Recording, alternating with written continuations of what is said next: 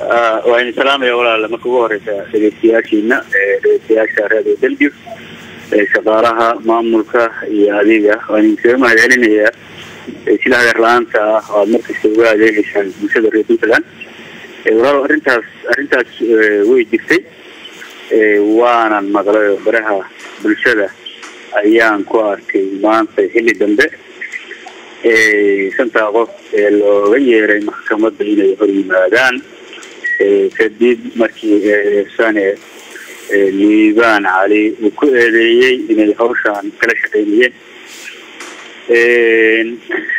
Marka arrintaas waxaan uga jawaabayaa saddex qodob oo kooban. Liibaanan warkiisa waxaan helay muddo lix bilood shan bilood ka hora. Habkaan warkiisa u helayna waxay ahayd asaga iyo saddex nin oo kale. Oo lagu xiray garowe ayaa waxaa ila soo hadlay in muqdisho jooga oo ehel iyo asxaaba aan nahay. Wuxuu ii sheegay ninkaas isaga ah la xiray. Aan hawshiisana wax ka ogaado.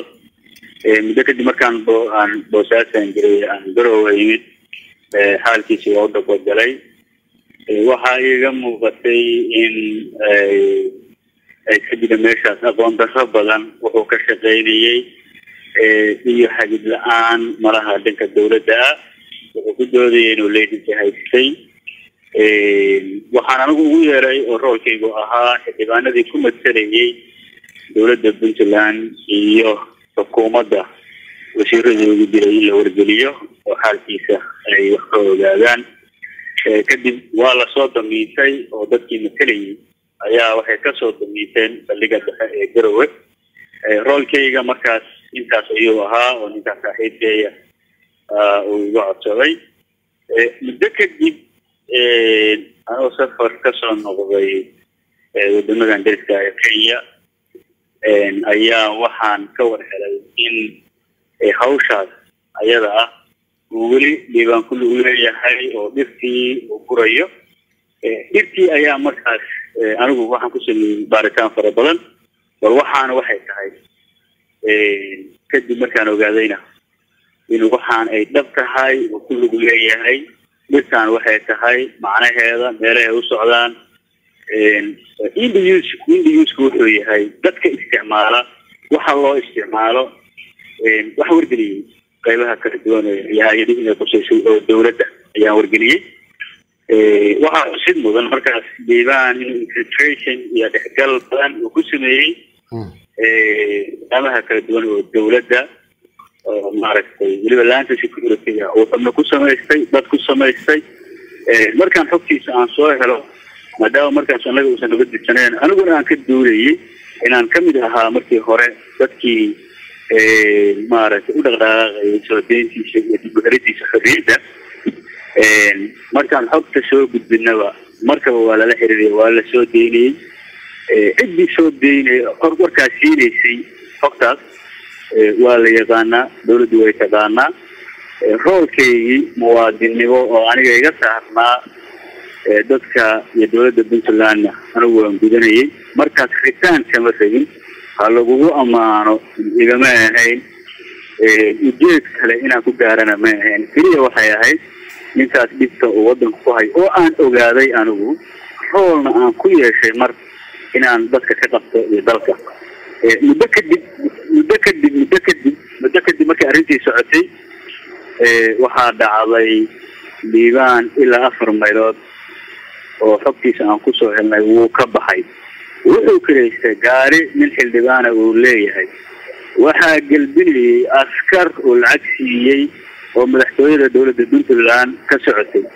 Xogtaas afar iyo labaatanka saac khadkaan ku jirnay dawladda ayaana khadka kula jirnay oo waxa weeyaan aan xogtiisa siinayay waxaa lagu qabtay gobolka sarkaar baa lagu qabtay. Way og tahay qeybaha kala duwan oo dawladda wasaaradda deegaanka si fiican kula socotaa waxaa nasiib darra ah marka annagoo howlkayagu sidaa u caddaa maantay liibaan xogtayadii markuu helay iyo informationkii annagu inaan hawshaas roolkaas aan qaadanay ayaa wuxuu liibaan recency uu halkaa ka qaaday iyo dad weli la shaqaynaya isku dayay inuu aarboosi ku sameeyo dembigiisa oo lagu qabtay darteed. Number two liibaan sidaa xog ku helay dembigan dembi ka weyn buu galay oo uu ku jiray isagii iyo tuul dawladda ahaa oo markaas sargaal qeybta ka shaqaynaya uu ka mid yahay la shaqaynta kooxa la shaqaynta koox maaragtay argagixiso ah ayaa lagu helay xogtiisii qurkiisa iyo faylkiisa dawladdu way haysaa. Labada dembi oo liibaan loo haysto markii laisbarbar dhigo dembiga weyn halkaasay ka caddahay. Waxaa aniga ii muuqata marka ka muwaadin ahaan ka mas'uul puntland u soo shaqeeya labada dembi oo dhacay maadaama uu weyn yahay. Dembiga kale oo kulug lahaanshaha argagixisada ah in kaas la dimbabasayo oo la qarinayo intii maxkamad ciidan la geyn lahaa halkan loo weecinayo si taas loogu raadsato marka arrinta ayadana runtii waa waa waa nasiib darro aada u weyn.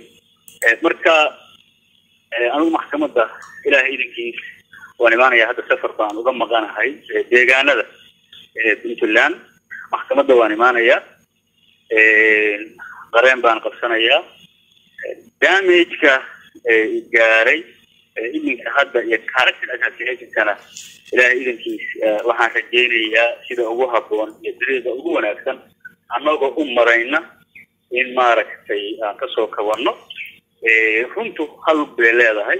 Lugta lugta markii la qabtana waa waa waa waa waa waa wax aada u maaragtay u horadgaaban marka xaqu waa caddaanayaa runtana ilaahay idankiis marka way soo baxaysaa waayay cabdiraxmaan xeelan adigu wuxuu sheegay in rag caddaan hawshan ay wateen sidoo kale qayb ka ahaayeen.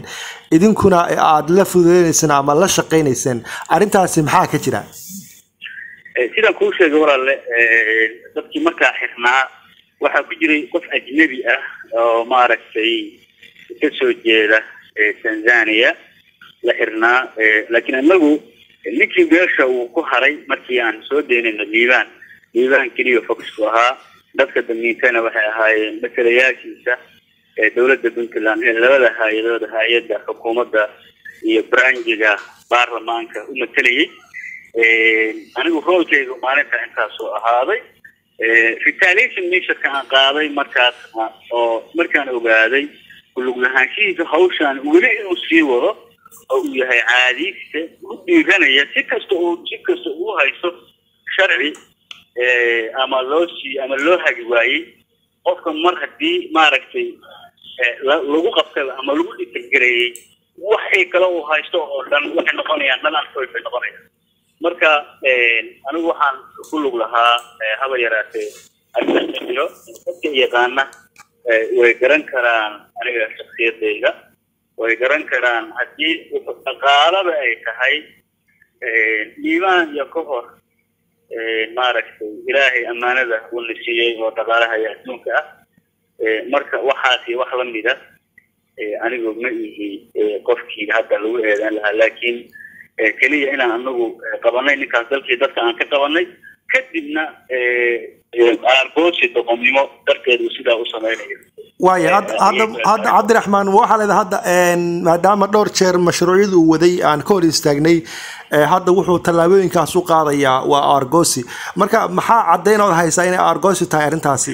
Walaal waxa waxaa horta waxaa maaragtay ilaahay mahaddiisa arrintan waxaa ka warqabay markaan qabanaynay markii hore waxaa ka warqabay dad gaaraya xataa kuma oranaya toban shan iyo toban labaatan ka badan ayaa ogaa habeenka aan go'aansanayno ninkaan reerkiisii xubnaha ugu muhiimsan ayaan iskugu yeeray. Waxaan ku yidhi ninkaan shala ninka ninka odayga ah ayaa arrintaa iga codsaday. Maantana waxaana ku lug leeyahay. Gacanta ha laga qabto wuxuu ku jiro. Haddaan laga qaban anagu hay'adaha ay qusayso waan ku riboodarin dadkii habeenkaan aan iskugu yeernay iyo waktiga hadda waa joogaan markii aan qabanaynay xukuumaddii aan ku wargeliyey markii xukuumadda maaragtay dowladda dhexdeeda xog ka baxaysay xogtii ka baxaysay iyo cidda bixinaysay sidaan ugu wargelinay. Marka walaale waa waa waa maaragta waa fox on the ground waxaan ka hadlayo waana midda aan leeyahay aan aad hadda u soo ratify garanayo u adkeynayo inay xaqa iyo uu dhawaan insha allahu tacaala soo baxayo. Waxaan is leeyahay darajada koowaad maanta arrintan waxay u gashay oo maaragtay ka warqabid la'aan inay jirto baa dhici karta. Dembiga kale oo kan ka weyn oo uu ku jiray oo maaragtay jurisdictionkeeda aysan ayadu lahayn. Waayo cabdiraxmaan rag kaloo afar ayaa ku jira sidoo kale. Wax aqoona ma ma u leedahay mise ka mid yihiin dadkii? waan u leeyahay waan u leeyahay laba qof oo ka mid a baan u leeyahay. Waxaan u leeyahay liibaan aad baan u aqaanaa waa qofkii koowaad aan u sheegay markii arrintan uu ku jiro aan ogaaday oo aan kala xiriiray liibaan ayuu ahaa oo aan waxa weeyaan ku wargeliyey. Markii la qabanayay hoteelkuu joogay oo dowladdu markuu ka xeray uu baxsaday guryuhuu deganaa reeruhuu wax ku keedinayay markuu magaalada ka baxay baabuurkuu kireystay ciidankuu qaaday markii la qabanayay meeshuu marayay intaba aniga aniga ku wargelinaya liibaan shuruu liibaan iyo laba xubnood oo kale oo dowladda ah oo aan ka sheegi doono maxkamadda horteeda markhaatina aan u keeni doono ayaan marsiinayay. Maanta waxaan ka nahay marka markaan arkay liibaan oo hawsha igala shaqeynaya qabashadiisa agaasida liibaan inaan ku arkay liiska. Waa nasiib darro aada u weyn. Ninka kaloo aan garanayana dhalinyaro ah oo maaragtay aan hadda muddo shaqo wadaag ahayn. Waxaa la yidhaahdaa cali naasir abshir geyre ninkaas ayay waa maaragtay markii hore baa la wada xiray ayaka. Muddadaa ka horna cali waan aqaanay hawshaan uu watay ayuu markii hore dowladda inta ugu tegay ninkan ugeeyey wuxuu yidhi ninkan ganacsigaanu wataa waa ganacsi cusub. Maaragtay de haddii uu yahay ganacsi jiray oo aad laga shaqayn jiray waxaan ay beer tahayna waxa weeyaan ha la hago leesansi ha la siiyo. Haddii aysan maaragtay ganacsi jiro aysan ahaynna ha laga qabto. Maalintii la xiray marka cali koowaad oo lala wada xiray ayagoo gaari wada saaran oo markii koowaad hadda waxaan umaleynaya toddoba bilood ka hora. Baa intaan ka warqaba aniga cali iyo asaga xataa inay xiriir wada samaystaan ugu dambeysay labadaas labadaas xubnood baan ogahay laakiin inta kale oo dadka meesha ku jira oo hadda soo qoray ma garanayo laakiin waxaan hubaa oo anigu hadda malahayga maskiinka ah ii sheegayaa qof kasta oo liibaan arrintan uga digay ama qof kasta uu ku tuhumay qabashadiisa inuu arrinta ayada ah uu hadda u saarinayo. Tuhumkeyga wey wayna soo bixi doontaa sidaan sidaan sidaan rajaynayo ma garat waayahay geedkan uu dhoofinayay ninkaasi aad ka dhawaajisay geed quwaaxa ma noo sharaxi kartaa wuxuu yahay? Walaalow geed quwaax keliya horta biso ma ahan. Anigu markaan ku leeyahay research baan sameeyey adaayana saan mass media ku soo bandhigay geed quwaax maahan horta geedaha la qabtayna waa ka garanaysaa oo hadda la soo bandhigayay. Waa geedo kala duwan oo maaragtay aada u kala duwan. Waxaa ka mid a bahda loo yaqaano geed quwaaxa oo ay qaroonta iyo kabrarada qaroon cadka iyo qaroon madooga iyo kabrarada ayay ka mid tahay. Waxaa ka mid a geedkan la yidhaahdo keliga waxaa ka mid a geeda noocaas hadda ma rabno inaan u samayno dad kale oo ka faa'iidaysan kara maaragtay say magacyadaasi waxaas helaan hadda business ka dhigan kara inaan expose gareyno oo soo bandhigno macno badan samayn mayso laakiin waxaa looga faa'iidaystaa anigu markaan aan researchka ku sameeyey insha allahu tacaala waana soo bandhigayaa beebarkan ka diyaariyey ilaa saddex shay dad waxaa jira oo ninkaanu ku la shaqaynaya ka mid a obsession waxay ku yihiin geedaha reerka ah geedaha maaragtay isya naadirka ah inay aatasalafin ee salafinkooda maaragtay ka mid noqdaan u raadiya ayaa jira qodobka labaadna waxa weeyaan way ka ganacsadaan oo as oromantaji oo geedahan maaragta wax lagu qurxiyo ahaana way u isticmaalaan qaar kale u isticmaalaa jira meditation iyo maaragtay inay ama wax ku caabudaan ama wax ku baryaan u isticmaalaa jira qodob kaloo ayakana u isticmaala ayaa waxay jiraan dawo iyo wax la mid ah cuduradan uurku jirka ku dhaca iyo kansarka iyo waxyaala noocaasa u isticmaala. Xogtan aan kuu sheegayana waa xog public domain maaragt hadda laga helayo oo warseedada iyo meel kasta ku jirta. Laakiin waxaa laga yaabaa inaan networkii iyo dadkii ka shaqaysanayay ay adag tahay in la helo. Laakiin intaas markaan geedahan baaray waxaan laga shaqaynayo kollay dhowrkaa qaybood ayaan hadda ku soo koobi lahaa. Isaguse markaas markaas waxaan ogaaday inuusan aqoonba ulahaynba waxaan uu ku shaqaynayo keliya sawiro la tusay ee la yidhi sawiradaas gool uu dameer maaragtay malafsida ahaa